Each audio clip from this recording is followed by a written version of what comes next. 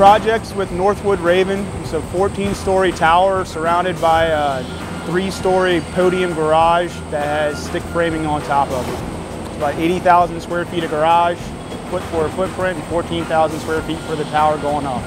The next floor and on the floors of going up, we're going to be using SkyTable. We were debating whether or not to just use SkyTable to get started, put it on higher framing, and then fly it up and start the typical shoring. If you look down, there's mud sills down here, so we're not on slab on grade. Because we're not on slab on grade, we wanted a system that was more versatile and easy to strip on dirt and gravel.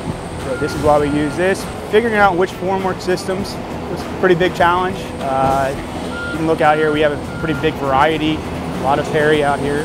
Compared to typical 10K shoring, this is a lighter system. It's much easier for the guys to handle it by themselves.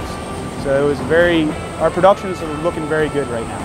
Yeah, so the 10K system from PERI, so far the guys love it. It's a, uh, as far as the 10K system goes, it's something they're familiar with.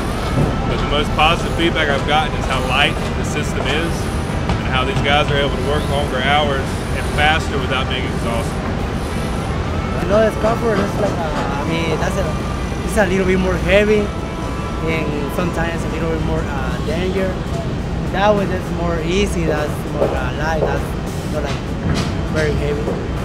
So I like it, that's cool. It's easier to handle, it's safer because it's lighter. The best part about working with PERI would be their customer service. Uh, if you had a question, uh, they'll answer it as quick as possible. If we need to talk to the engineers, we'll talk to the engineers.